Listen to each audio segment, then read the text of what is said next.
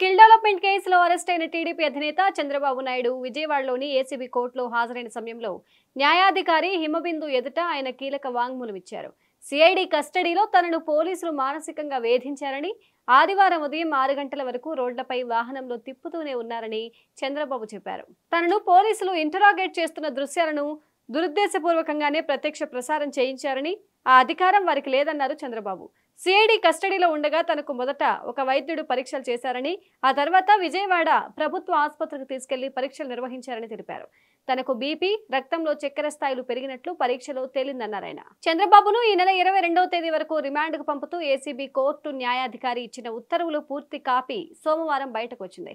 కోర్టులో చంద్రబాబు ఇచ్చిన వాంగ్మూలం వివరాలు అందులో పేర్కొన్నారు. మిమ్మల్ని ఏ సమయంలో అరెస్టు చేశారన్న న్యాయాధికారి ప్రశ్నించగా తాను బస చేసిన ప్రదేశాన్ని శుక్రవారం రాత్రి పదకొండు గంటల నుంచి పోలీసులు ముట్టడించారని తెలిపారు చంద్రబాబు.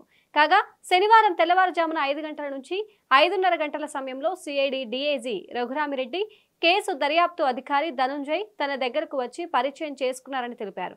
వారి రాకకు కారణం ఏమిటని అడిగితే అరెస్టు నోటీసు అందించారని అయితే కేసు వివరాలు అడిగితే సమాధానం చెప్పలేదని చంద్రబాబు తెలిపారు. కాగా పోలీసులు మీతో దురుసుగా ప్రవర్తించారా అన్న ప్రశ్నకు శారీరకంగా ఇబ్బంది పెట్టలేదు కానీ మానసికంగా వేధిస్తూనే ఉన్నారని చంద్రబాబు సమాధానమిచ్చారు.